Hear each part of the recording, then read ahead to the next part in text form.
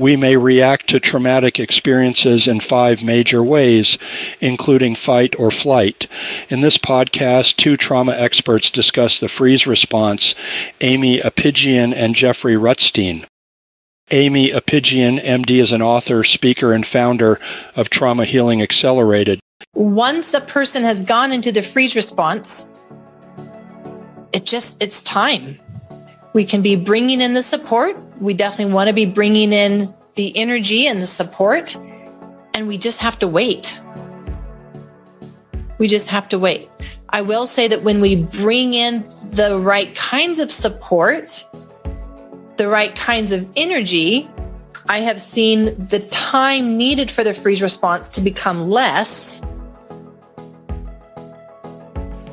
And yet, every person, every body, every nervous system seems to have its own rough time schedule for the freeze response.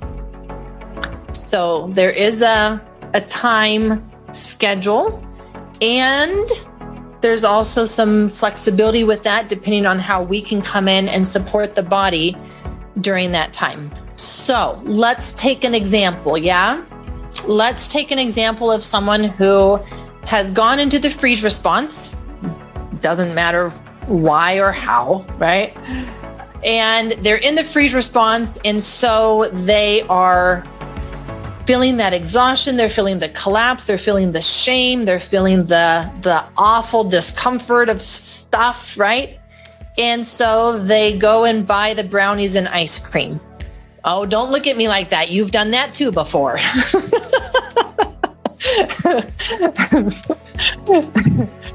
so what is that doing to the system that's just gone into the freeze response how is that going to affect what's going on in the physiology? It's going to be depleting even more energy. That's right. It's going to be causing more inflammation. That's right. And so that is one way in which, yes, there is this temporary self soothing effect. And you're also making it harder for your body to have what it needs to come out of the freeze response. And so, this is a beautiful example of how all of this comes together. Where, when a person goes into the freeze response, I would love for them to curl up into a ball. I mean, that's what the body wants to do anyway. So, why don't we just go there, right? rather than fight it, rather than fight it, because that's going to take up energy. We allow it. We welcome it. It's it's here to stay anyway. So we might as well. We might as well. So what if we were to acknowledge and allow it and actually allow the body to go into a full collapse? When I'm working with someone and I can see that they're in the freeze response, I invite them to do that. I invite them to just hang, right? Like you feel the heaviness, you see their shoulders drooping, and I'm like, just go for it, right? Rather than trying to hold yourself up and back and your stomach hurts, I can I can see that you just want to fold over. Why don't we just do that and just see how that feels? The reason why we don't do that is because we're afraid. We have fear that's connected with the freeze response. And we've had this fear of if I allow my body to go there, I'll probably never come out. Do you remember having some of those thoughts? yeah, so I better just not even go there, right? Let me fight this the whole way. My goodness, like what an energy drain though. And we're we're supposed to be bringing energy into the system. And so when we just allow it to do what it needs to do, it will come out sooner. And the, the there is a purpose for the freeze response, and that purpose is to build enough energy up again. Dr. Jeffrey Rutstein is a clinical psychologist and host of the Healing Trauma Program. Evolution has gifted us with an ability to survive from a very, very dangerous past until now. It's done so by giving all mammals five defensive survival states. These states are designed so that when we face danger, we survive. Some of these states you've heard of or familiar with, some you may be less familiar with. Today, I want to talk about freeze. Freeze is a, a state that a lot of people are less familiar with because it doesn't happen to them.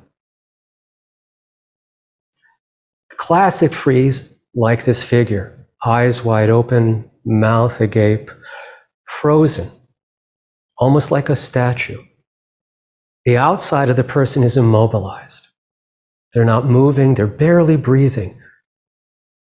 But on the inside, on the inside, they are activated like a volcano.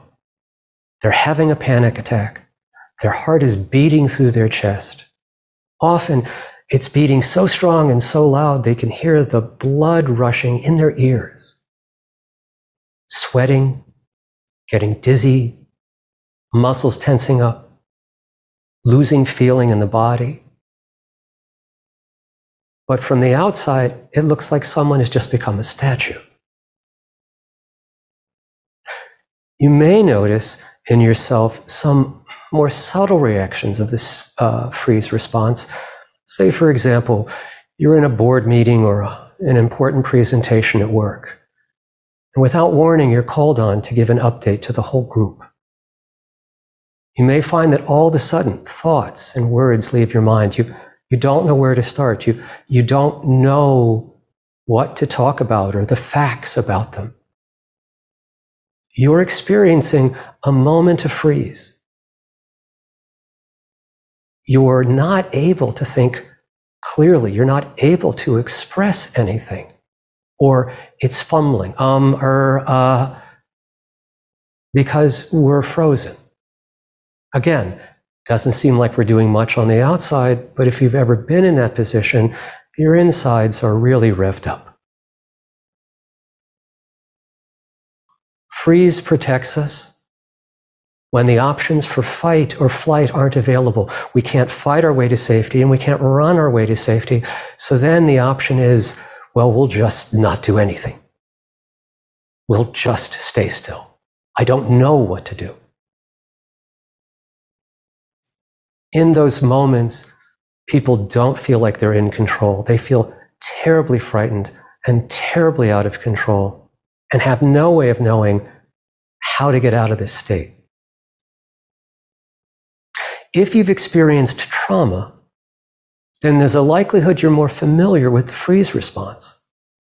Because it's a very common response when people encounter overwhelming and traumatic situations, especially ones where we can't run and we can't fight. Freeze is very common. You also may experience a cousin of the freeze state called shutdown. Shutdown is similar to freeze, but the outsides and the insides are closer together, meaning in shutdown, you tend to go to sleep. You tend like someone has given you a drug. You just can't keep your eyes open for another second. And in shutdown, in those moments, the body is much more quiet and the mind is almost basically off. That's an even more extreme state than freeze and again, if you've had severe trauma, you'll be familiar with shutdown. We'll talk much more about shutdown and the ways of working with it in our upcoming program. This material in an excerpt from a longer podcast or video. Follow link in description to learn more.